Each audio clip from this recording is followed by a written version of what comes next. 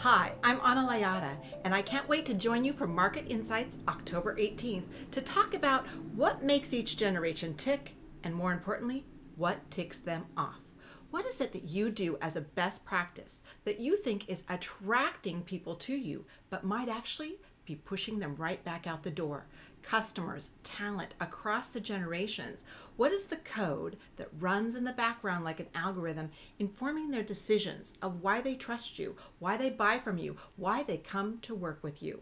We're going to be looking at those codes, those trends, and those insights to understand how can you turn them into a superpower. Generational savvy can make all the difference. So join us October 18th at Market Insights to understand what is your generational superpower and how can it impact your bottom line.